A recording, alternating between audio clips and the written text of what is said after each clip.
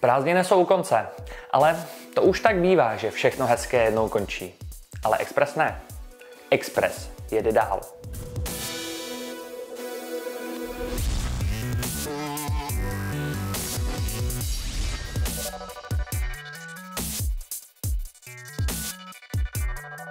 SŽDC připravuje velkou modernizaci trati mezi Prahou a Berounem. Počítá se s rychlostí 130 km hodině pro běžné vlaky a pro pendolína dokonce 145 km hodině. Proti tomu ale bojuje 11 obcí z regionu, které požadují maximální rychlost 105 km hodině pro osobní vlaky a 90 km hodině pro vlaky nákladní. SŽDC už na jejich poput z projektu odstranilo protihlukové stěny. Tato trať je jednou z nejvytíženějších tratí v zemi a za poslední půl století neprošla žádnou modernizací. V budoucnu by tuto trať měl nahradit tunel. Pamatujete si, jak jsme vás informovali o testování Solarisu Hybridino? Tak teď tu máme další. Dopravní podnik od Iveka na dva měsíce získal Urbanway Hybrid 12 M High Value. Technologie je podobná jako u Solarisu. Jedná se o sériový hybrid, kdy je generátor poháněný vznětovým motorem a energie i zbrždění je ukládána do superkondenzátorů. Autobus pak pojme 86 cestujících, což je o čtvrtinu méně než 12-metrová sorka. Hybrid 2 je vypravován z garáže Hostivař na stejné linky jako Hybridino. Veškeré další informace naleznete na webu dopravního podniku. A u testování autobusu ještě zůstaneme. ČSAD MHD Kladno, patřící do skupiny Arriva, dostalo k testování SOR NS12 Electric. ČSAD MHD Kladno bude testovat všechny jeho vlastnosti a bude také zkoumat, zdali bude možné elektrobusy nasadit na jimi provozované linky. Zatím je elektrické NSO nasazováno na linku 605 a to mezi 5 hodinou raní a půl čtvrtou odpolední. 24. srpna jsme v pražské integrované dopravě přivítali další region, a to Slánsko. Integrace nějakým způsobem změnila, zrušila či zavedla celkem 65 linek, a to jak integrovaných, tak neintegrovaných. Pojďme se podívat na ty nejzásadnější linky. Selaný s Prahou spojují celkem tři linky.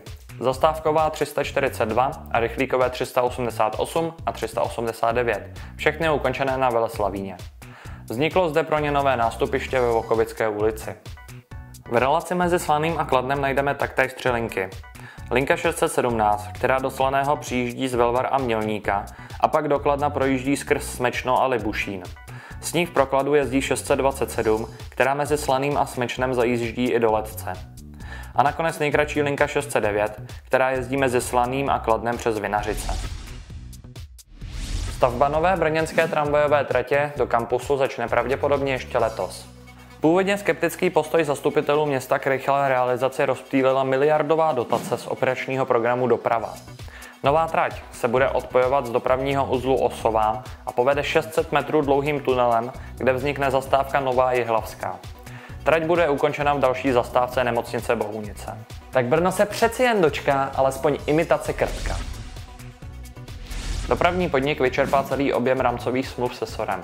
Za 1,1 miliardy objednal dalších 200 autobusů řady NB, konkrétně 150 kusů 12-metrové verze a 50 kusů 18-metrové verze. Poslední autobus by DPP měl převzít v březnu 2021. TSK na konci července vyhlásila na Facebooku a Twitteru anketu o tom, jaké jméno by měl nést most Y529 pomlčka SDO pomlčka ČSD přes Mitas. Na plné čáře s 85% zvítězilo současné lidové označení Lanový most. Technická zpráva tento podnět předala místopisné komisi. Tak nezapomeňte, že Lanový most bude nově s velkým L. Optimalizace trati mezi Vinohradskými tunely a Hostivaří se dostala do jedné třetiny. 27. listopadu se tak zprovozní čtvrté nástupiště Vršovického nádraží. Přístup na něj bude z důvodu pokračující rekonstrukce možný pouze z nového podchodu. Od začátku září dojde k pár změnám linek 108, 164 a 225 na Praze 6 a 17. Linka 108 nebude zajíždět k nemocnici Bubeneč, ale pojede ulicemi Teronská a Rooseveltová, kde vzniknou zastávky Českomalinská a Rooseveltová. Linka 164 dostane novou zastávku Sportovní centrum Řepy v ulici na Chobotě a u 225 dojde k přejmenování zastávky Úřad Řepy na radnice Řepy. Praha se s Ministerstvem kultury dohodla na vedení nové tramvajové tratě před hlavním nádražím. Z Vinohradské ulice zabočí doprava před státní operu, kde přetne magistrálu a dostane se do ulice Washingtonova. Dále trať povede parkem přímo před budovu a poté se napojí na stávající síť v Bolzánově ulici. Podchod na hlavním nádraží zažil obrat o 180 stupňů. CŽDC zrušila již vyhlášený tender. Důvodem je velký nárůst ceny, kdy jediná nabídka o združení Hochtief, Metrostav a AŽD Praha byla za 1,5 miliardy korun. Předpokládaná cena přitom byla necelých 900 milionů. To znamená další odklad stavebních prací, které počítají i s rekonstrukcí 5. až 7. nástupiště.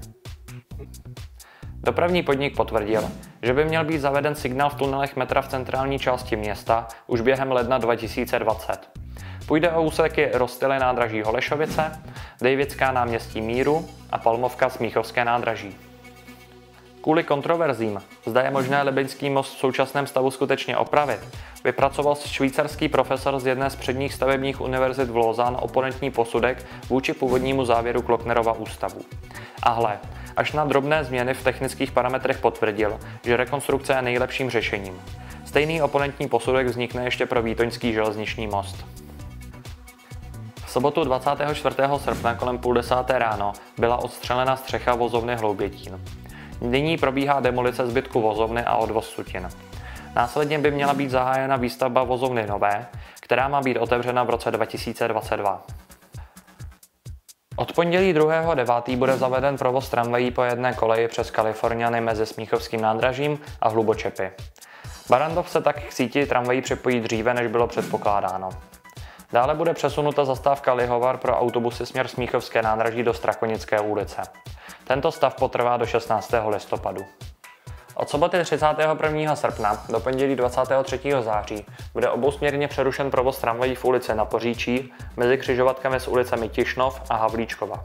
Linka 3 bude jezdit polookružně z Palackého náměstí přes Jiráskovo náměstí, Národní třídu, Moráň a zpět po své trase.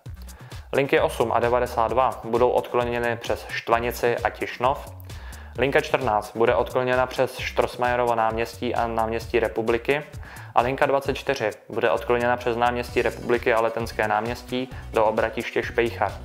Zavedena bude linka 33 v trase Kobylisy, Palmovka, Florence. A jinak nám skončila výluka v průběžné ulici a ve smyčce spojovací. A s koncem tohoto expresu symbolicky vítáme nový školní rok a s ním návrat plnohodnotného provozu hromadné dopravy. Sledujte nás na sociálních sítích a za 14 dní se můžete těšit na další nášup novinek. Ahoj!